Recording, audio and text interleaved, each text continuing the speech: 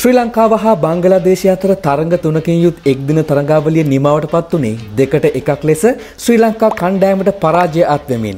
මුල් තරඟ දෙකේදීම ශ්‍රී ලාංකීය පිතිකරුවන් දැක් වූ දුර්වල පිතිකරණය හේතුවෙන් මුල් තරඟ දෙකම පරාජයට පත්වීමට සිදු වුණා. නමුත් ලාංකීය පන්දු යවන්නන් තරඟාවලිය පුරාවටම සාර්ථක පන්දු යැවීමක නිරතවීම කැපී පෙනුණා.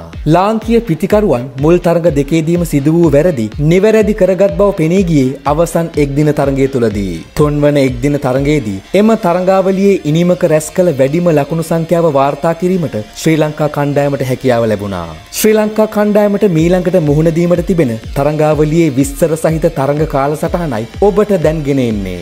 ශ්‍රී ලංකා කණ්ඩායම ඉදිරියේදී එංගලන්තය බලා පිටත්ව යාමට නියමිත වැත්තේ T20 තරඟ තුනක් සහ එක් දින තරඟ තුනක් සඳහායි. මේ තරඟ සංචාරය පිළිබඳව මීට පෙර වීඩියෝ කීපයකදීම ඉක්කා ඔබට විස්තර ගෙනවා. මේ වන විට ශ්‍රී ලංකා ක්‍රිකට් ආයතනය විසින් මේ තරඟාවලියේ තරඟ කාල සටහන නිකුත් කොට තිබෙනවා. මෙම සංචාරය තුළදී කිසිදු පුහුණු තරගයක් පැවැත්වීමට සංවිධානය කොට නැහැ.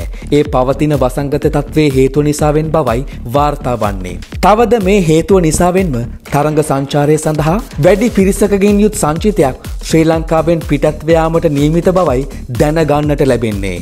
නවක ක්‍රීඩකින් රැසකටද මෙම සංචාරය තුළදී අවස්ථාව හිමිවීමට බොහෝ ඉඩකඩ තිබෙනවා.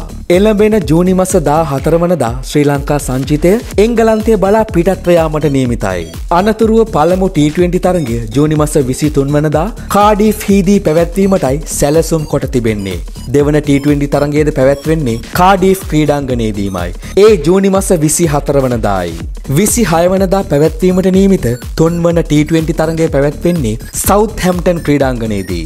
එංගලන්තය හා ශ්‍රී ලංකා අතර පළමු එක්දින තරගේ ජූනි මස විසි නමවනදා ඩර්හැම් ක්‍රීඩාංගනයේදී පැවැත්වීමට නියමිතයි. දෙවන තරගේ ලන්ඩන්හි ඕවල් ක්‍රීඩාංගනය පැවැත්වෙන්නේ ජූලි මස පළමුවනදායි. තුන්වන හා තරංගාවලියේ අවසන් එක්දින තරගේ බ්‍රිස්ටල් හිදී පැවැත්වීමට නියමිත වැත්තේ ජූලි මස හතරවනදායි. මේ තරංගාවලි ජයගැනීමට ශ්‍රී ලංකා කණ්ඩායමට හැකිවේවිද. ඔබ මොකද හිතන්නේ අපට කමෙන්ට් කරන්න. එක් SLK චැනලේ සබස්ක්‍රයිබ් කරලා බෙල් අයිකන් එකත් ක්ලික් කරලා තියාගන්න එක් අයනවා ඉක්මනින්ම ක්‍රීඩා තොරතුරු අරගෙන. ඉක්මනින් හමුවෙමු.